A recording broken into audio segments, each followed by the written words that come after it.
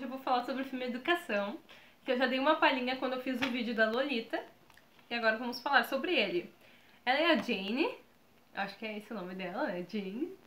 E ela ela conhece esse cara, que é o Peter, que tem 40 anos e ela tem 16 na época. Isso se passa nos anos 60. Era muita mo muito moda aquele negócio de ser burguês, não ser burguês que tinha um meio que um preconceito com pessoas burguesas. E ela é uma aluna muito, muito dedicada. Ela estuda muito latim, estuda tudo assim, tudo tira nota 10. Muito legal mesmo. E ele é um, como ele mesmo diz, que se formou na faculdade da vida.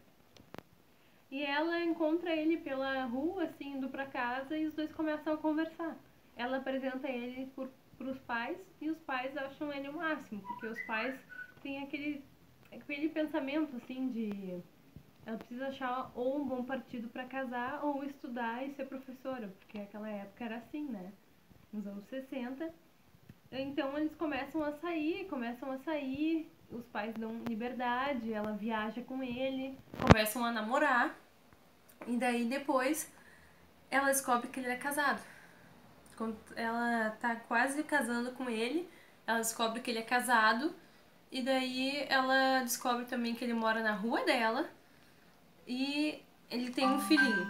E então ela fica, ela larga os estudos para casar com ele e no final ela quase perde todo o esforço dela, mas a professora dá uma chance e ela consegue fazer as provas finais e passa em tudo. E esse era esse filme, Educação. Um filme muito bom, para qualquer pessoa que quiser ter uma, entre aspas, lição de vida.